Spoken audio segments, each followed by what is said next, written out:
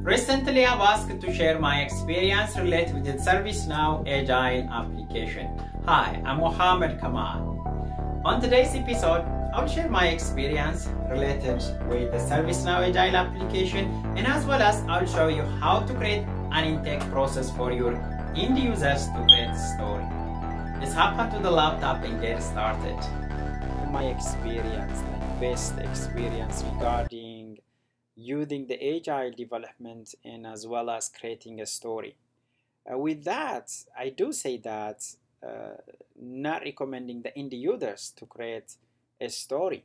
Rather, rather, I really encourage to create some kind of intake process for your end users to uh, create a mechanism where the end users they can request it could be like enhancements or defects so for that, you can use different ServiceNow applications like the Service Catalog. And what I, uh, from my vast experience, what I like most is the demand management. So with the demand management, you can absolutely get um, the end users enhancement and then their defect request through the demand management.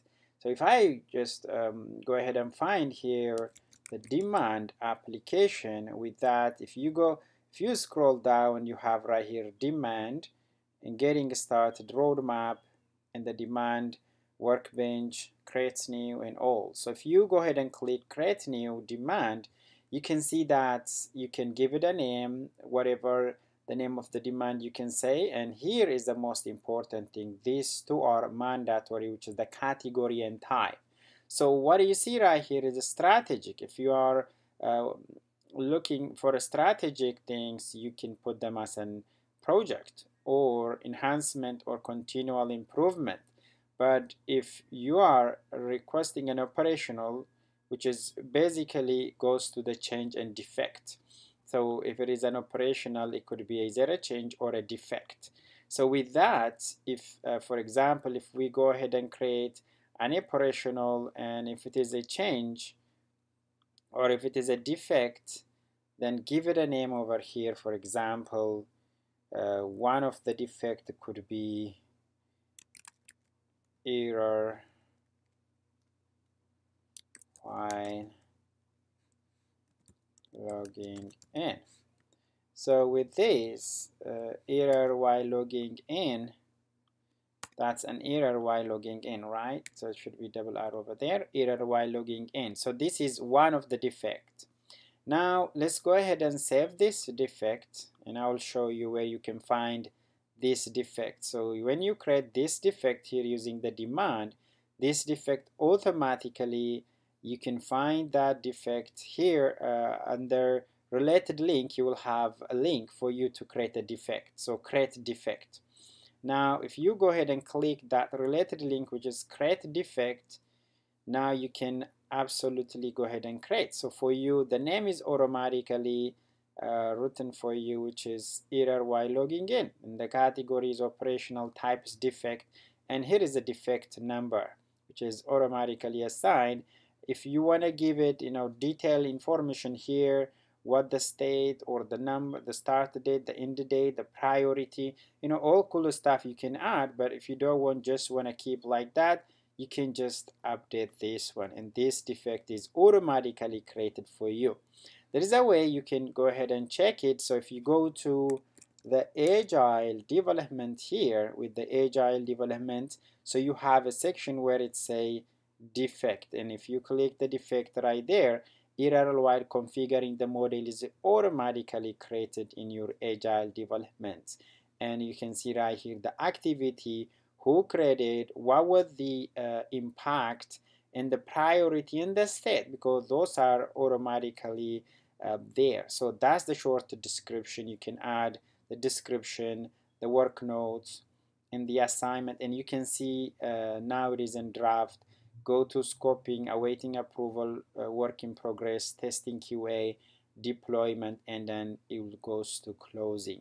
So that's in another important here you see stories and one of the best practice I am recommending in addition with this is that if you have one defect you can associate that defect to many stories many stories but not, it's not recommended to associate a lot of um, uh, like your stories with many defect but one defect you can associate it with many stories. So you can have a lot of stories over here.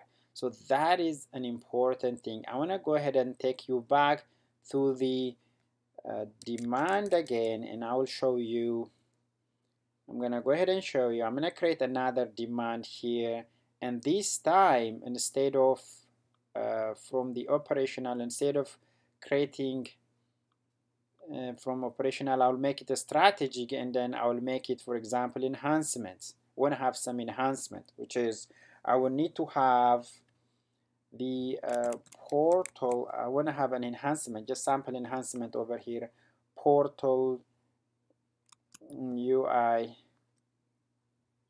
just user interface enhancement okay enhancement so let's go ahead and request this kind of enhancement okay? It may not be correct but portal UI enhancement in this category is strategic and it's enhancement.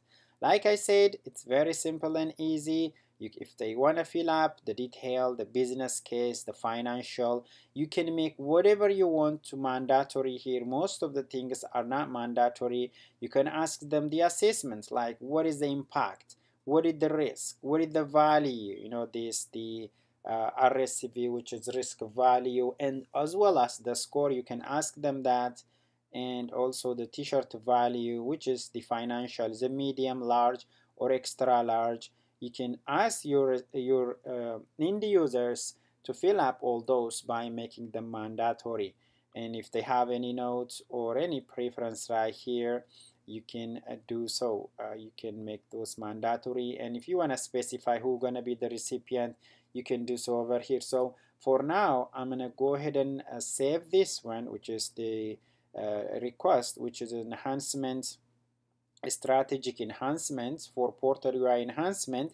And now you can see right here under your related link you will have create enhancement. So which means you can automatically create an enhancement for this uh, for this enhancement request. So uh, as you can see right here an enhancement is automatically created with the enhancement number the category type and the name is automatically filled up like I said, you can make most of the things here mandatory if you um, want the user to fill up before it gets to you.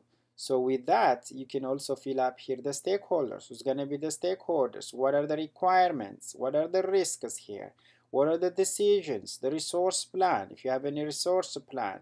What are the cost plan, the benefit plan? You see all those cool steps you can ask your end user to fill up. And for that, this is uh, this enhancement is created now I'm just gonna go ahead and update it once I update it I will go ahead to the agile development like I did earlier and if you go to your agile development you can see there is a section application called enhancement so if you go to the enhancement there the portal UI enhancement. Sometimes you might have a lot of enhancements and you may not be able to find. So in that case you can configure uh, prior personalize the list and then uh, you can have uh, that created by or updated by then you can rearrange to find it. But for me it's so easy because I have only few enhancements here. So the portal UI uh, enhancement portal UI enhancements right there. It is created by me. When it was created I can see that. And that's the state the priority. Most of the things are um, the uh, default so you can change those defaults as well. The assignment group the product all those cool stuff. Like I said you have the story right there. And with the story it is a best practice to have one defect or one enhancement associated to many stories. So this is a defect this is an enhancement and this enhancement could have many stories. You can associate it with many stories. And I'm not even ServiceNow is not recommending to have a lot of stories associated with many defects but one defect could have many stories. And the other important thing users without a scrum role they can create enhancements okay? If they don't have a scrum role yes they can create enhancement but they cannot see the agile module stories. What I have right here is because I have the role but they cannot see the agile uh, modules as well as the story but they can create these enhancements in defect. But if you want your user other users to create uh, those enhancements required you can give them a role what do we call it the future underscore user role. The future role uh, user role you can give that role and uh, any users can create. So with that that's all we have for today Feel free to send any question you have at contact at servicenowstar.com. Don't forget to like, comment, and subscribe to our YouTube channel to get more new videos. Until we see each other with the next episode, have a great day. Bye.